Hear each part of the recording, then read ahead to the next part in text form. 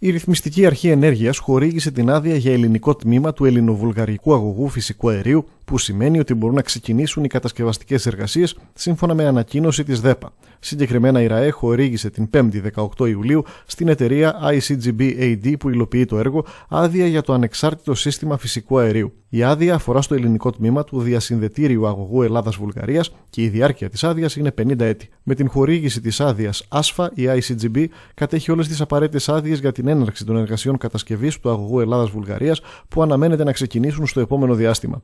Όπως αναφέρει η απόφαση, ο IGB θα συνδεθεί με το Εθνικό Σύστημα Φυσικού Αερίου, το Σύστημα Μεταφοράς Φυσικού Αερίου Transadriatic Pipeline, τον TAP δηλαδή, καθώς και το Σύστημα Μεταφοράς της Βουλγαρίας και θα ενισχύσει τη θέση της Ελλάδας ως ενεργειακού κόμβου, συμβάλλοντας στην ανάπτυξη του ανταγωνισμού στην αγορά φυσικού αερίου της χώρας μας και δημιουργώντας ωφέλη τόσο για τους εγχώριους καταναλωτές όσο και για τους καταναλωτές της Βουλγαρίας. Η εταιρεία ICGB με έδρα τη Βουλγαρία έχει μετόχους κατά 50% την κρατική βουλγαρική BAY και κατά 50% την ΙΑΦΑ Ποσειδών ΑΕ. Μέτοχοι της IGI Ποσειδών είναι κατά 50% η δημόσια επιχείρηση αερίου και κατά 50% η Ιταλική Edison. Ο IGB σε συνδυασμό με τον TAP και τις υποδομές LNG και δυνητικά με τον EastMed και τον Turkish Stream θα συμβάλλει στο να καταστεί η Ελλάδα διαμετακομιστικός κόμβος φυσικού αερίου. Όπως είναι γνωστό, η μεγάλη εξάρτηση της Ελλάδας από τις εισαγωγές πετρελαίου και φυσικού αερίου και οι μη προβλέψιμες και κυρίως μη ελεγχόμενες μεταβολές στην τιμή τους επιφέρουν ένα σημαντικό παράγοντα αβεβαιότητας στο σχεδιασμό ενεργειακών πολιτικών αλλά και στην ασφάλεια του ενεργειακού εφοδιασμού.